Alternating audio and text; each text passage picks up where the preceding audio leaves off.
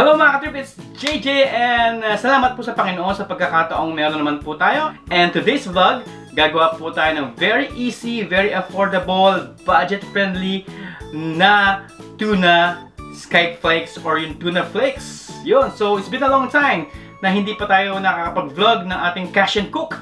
So today we're going to make a very easy dish or very easy na ulam for the family, for everybody, to your friends, and Pwede nyo rin po itong itry, lalo na po ngayong quarantine. Pasok na pasok po ito, lalo na sa inyong budget at napakadaling gawin. So kung ano po yan, ito po ang mga ingredients at kung paano po natin lutuin.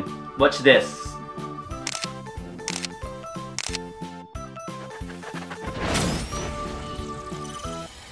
J-Trip by JJ.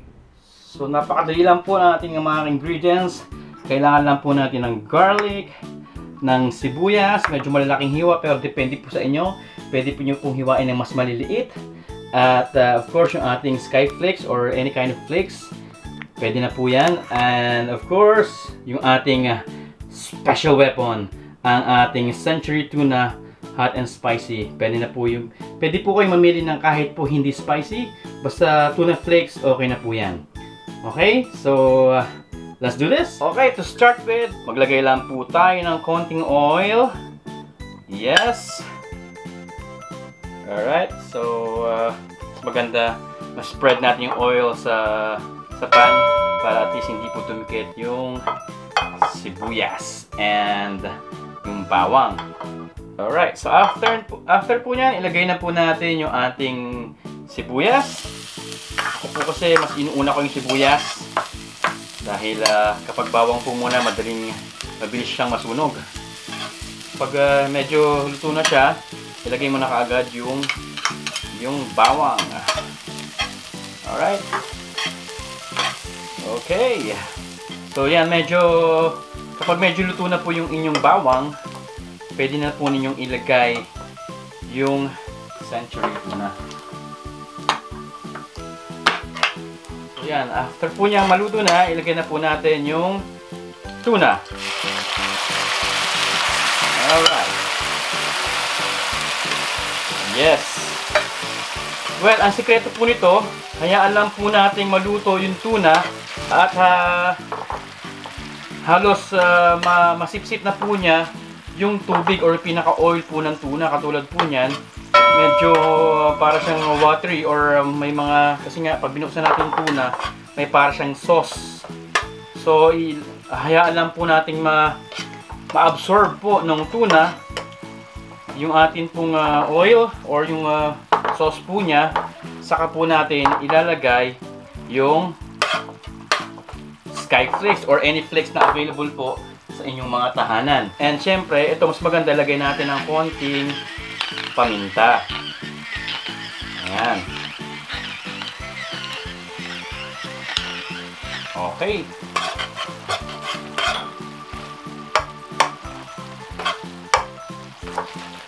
Yep, ayan. Yes. Ayan, medyo na na-absorb nyo na yung uh, sauce or yung katas po ng tuna. And after that, durugin po natin yung sky flakes. Yan. Ito po, durugin, durugin natin yung sky flakes.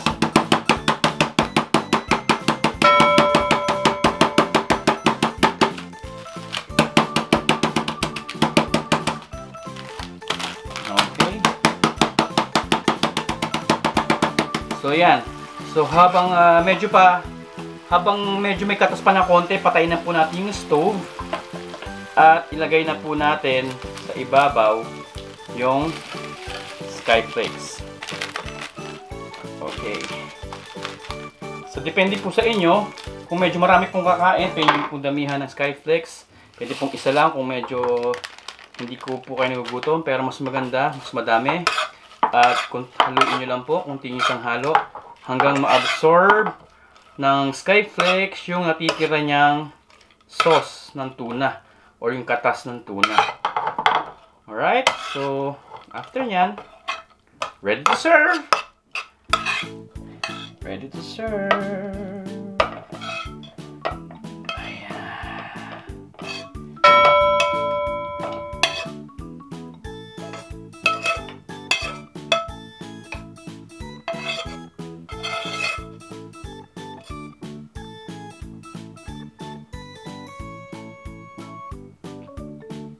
So ito na po mga katrip, ready to eat na.